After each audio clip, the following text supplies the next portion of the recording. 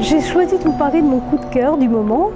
Il s'agit de la saga des émigrants de Maubert qui vient de paraître en poche, en cinq tomes. C'est une saga forte, extrêmement bien construite, extrêmement bien documentée. C'est l'histoire de toute une famille que nous, allons suivre euh, de la Suède vers les États-Unis. Ça se lit euh, d'une traite.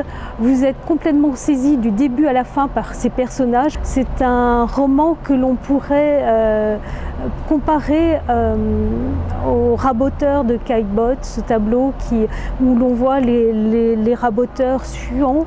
C'est la même chose pour ce texte. Vous avez envie de savoir ce qu'il va, qu va, advenir de ces personnages attachants, euh, mais euh, minés par un travail de terre rude. Si vous aimez la littérature scandinave, lisez avant tout Maubert, la saga des immigrants, vous ne serez pas déçus. C'est un texte émouvant, drôle parfois. Vous êtes conquis par, euh, euh, euh, leur optimisme. Vous êtes aussi parfois blessé par les aléas que la vie leur fait subir.